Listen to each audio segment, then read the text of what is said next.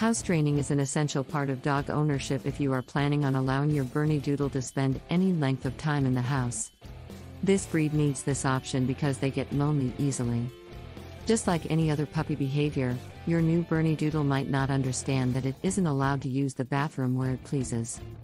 If your Bernedoodle came from a knowledgeable breeder, the breeder may have already started house training the puppies.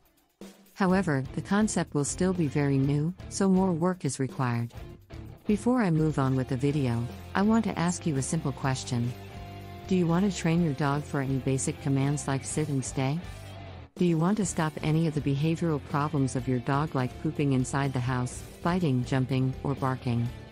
If your answer is yes, please grab the free Dog Training Secrets Guide in which I have disclosed the deepest dog training secrets that professional dog trainers don't want you to know about.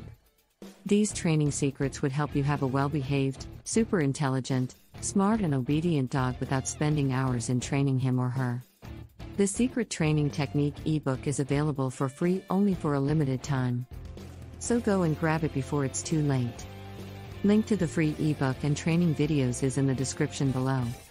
House training options.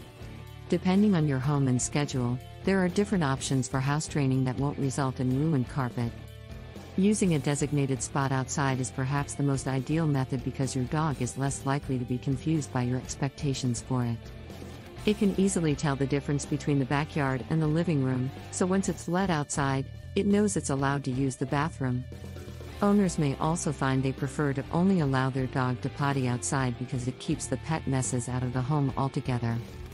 However, if certain circumstances make this impossible for you and your pup, there are other options. You may decide to teach your puppy to do its business on a designated indoor spot while you're away, and to use the yard when you're home. For inside training, there are a few different choices.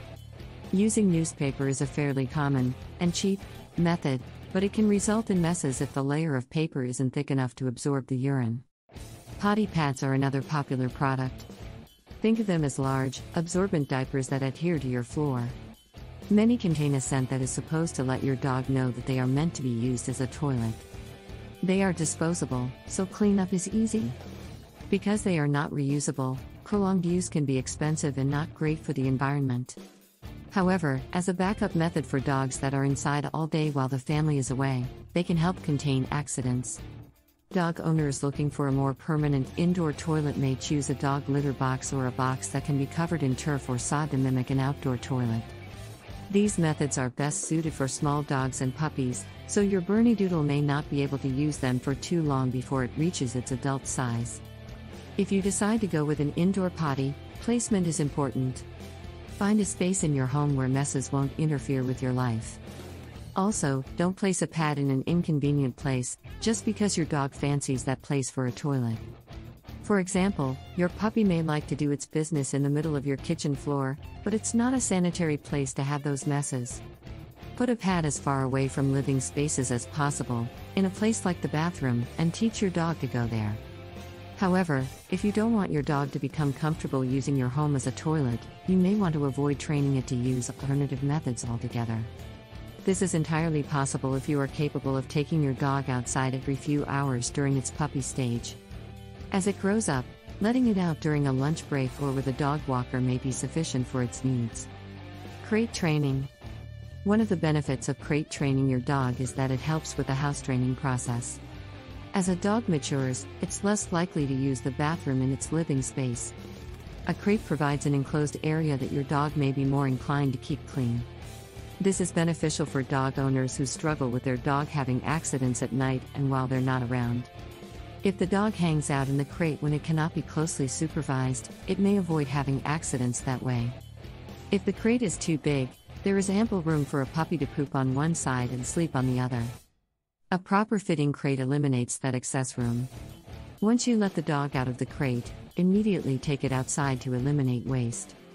Avoid keeping potty pads or newspaper in the crate if your dog associates them with using the bathroom.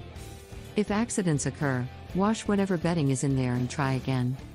Specially made enzymatic cleansers are good for removing the smells that make animals use the bathroom in certain areas. Do you want to have a well behaved, obedient, and calm pet dog without spending hours in training him? Check out the first link in the description and download the secret training technique guide absolutely free. It is available for free only for a limited period of time. Thanks for watching the video. Comment below if you liked the video. Please subscribe to the channel Little Paws Training if you are serious about training and grooming your dog. Also, join our Facebook group where you get all the solutions to your daily doggy problems.